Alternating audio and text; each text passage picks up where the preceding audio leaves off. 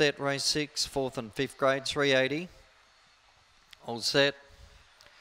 Way they go. Crackalack and Katie fast out goes to the lead. Pushing out wide. There was Fonzarelli driving forward. Little lunch and up on the inside. Well Indeed around him. Rob's gift. So very competitive early. And there goes my girl Maisie. She's got the run to take the lead from Fonzarelli.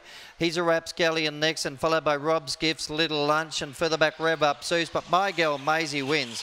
Second, he's a Rapscallion. Third place, Fonzarelli, then followed by Rob's Gift. Further back, we had Rev Up, Zeus Little Lunch, Crackalack and Katie, and Well Indeed.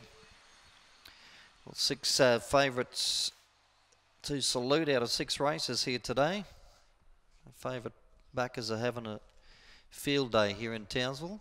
Six from six for the favourites. My Girl Maisie, the winner. Four, second, he's a Rapscallion. Fonzarelli, third, number six. And they've gone 21.95, 21 and 95. Five, four, and six. Five, four, and six. Eight, fourth in. Rob's gift.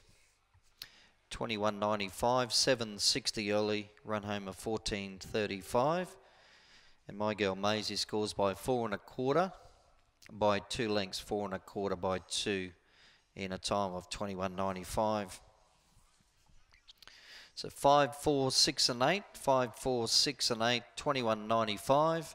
Four and a quarter by two. Early section 760. Run home 14.35 and 21.95 the, the overall time.